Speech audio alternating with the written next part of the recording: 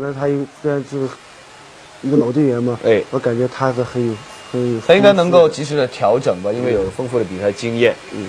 我哋即刻咧就會同大家睇到咧，就係七十五公斤級嘅比賽咧，由中國嘅阮玉寶對住泰國嘅昆德松佩拍色啊！嗱呢一位咧就係中國選手阮玉寶啦，咁啊而泰方嘅選手咧，照例咧會喺比賽開始之前咧進行一啲嘅佢哋嘅祈禱嘅儀式嚇。咁啊介紹一下咧就係阮玉寶呢一名嘅運動員啦，一九七七年嘅四月二十二號出生啦，今年咧就二十四歲，差唔多二十五歲噶啦。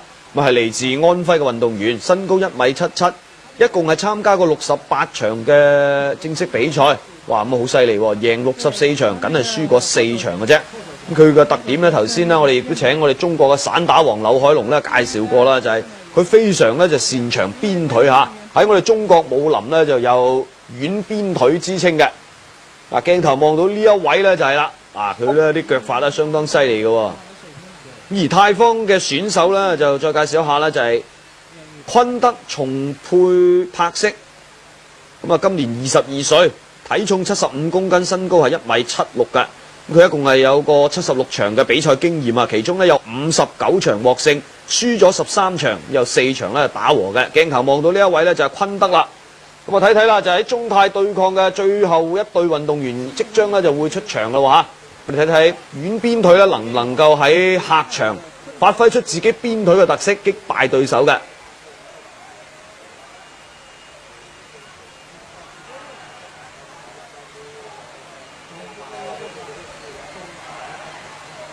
誒、有犯有这个动作呢，我感觉有犯规嫌疑。嗯，他踢中就是一个要害部位啊。對，動這競技打部位的。对他这是不允许向对方运动员呃这个部位攻击的。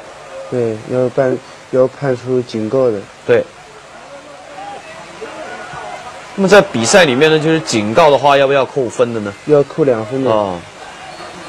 哎，我们看到確實岳玉宝他的鞭腿的发挥还是相当的不错的。刘海龙给大家留下非常深刻的印象，他是战胜了泰国的九五年到九九七年的金腰带获得者。那么这时候要是换了你上去，你会怎么打呢？刘海龙？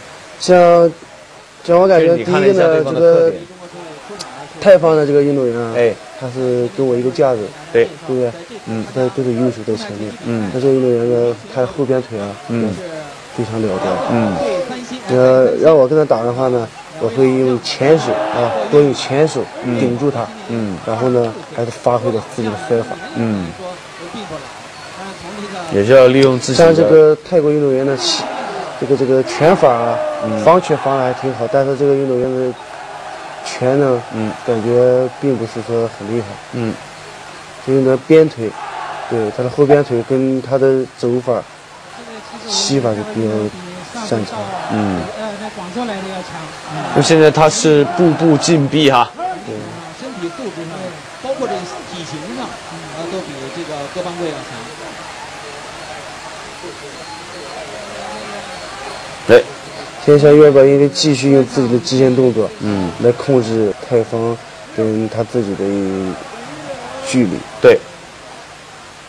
咁啊，雙方第一回合嘅比賽咧，就可以話啦，優勢都唔係咁明顯嘅。咁啊，泰方嘅選手咧，佢嘅體能咧比較好啊，身材咧比較健碩，咁啊，經常咧都步步向啊阮玉寶進逼啦。不過阮玉寶咧，亦都係利用自己鞭腿嘅優勢啦，不斷咁係騷擾對方嘅進攻嘅。保持住保持住自己的心態。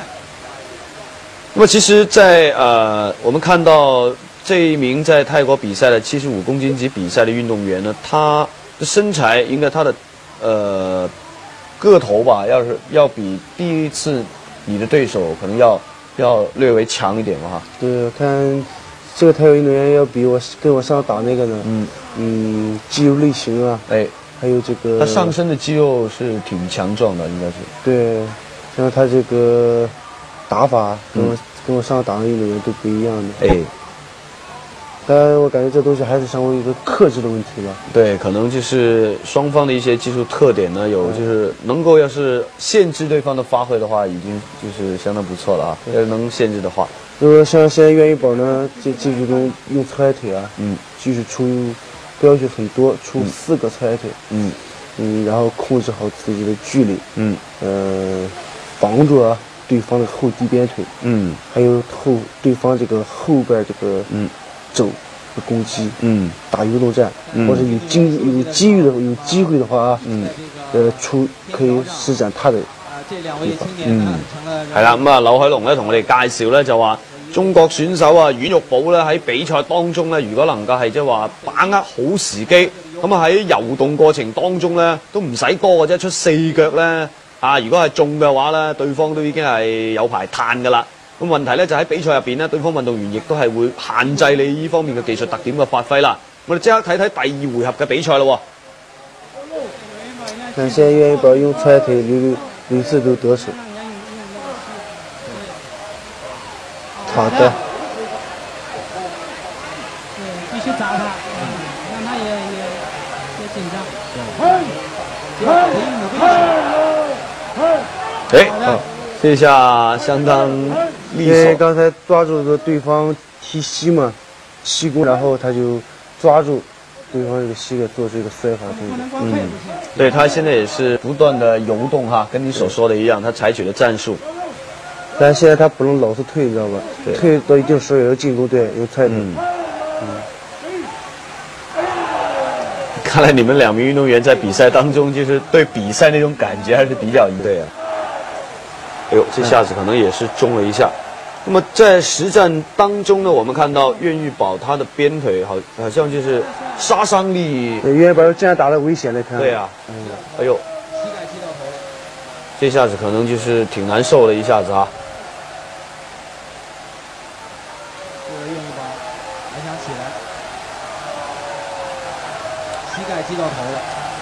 但刚刚我们看到了对方这名运动员膝盖击中了岳玉宝的头部，哎呦，可能岳玉宝教练员看到他伤势比较重吧，结果是泰国选手昆德。可能已经宣布退出了，因为从保护运动员这个出发点这个前提情况下，看到受到了一个比较严重的撞击吧，可能裁判员也是呃，可能是教练，你看看，这下子刚刚头给摁下去了，再吃一下，也是挺难顶得住的哈。袁一宝也是刚参加完世界锦标赛，那么因为所以说刚才他这个戏法呢，嗯，嗯，在那几个动作刚刚。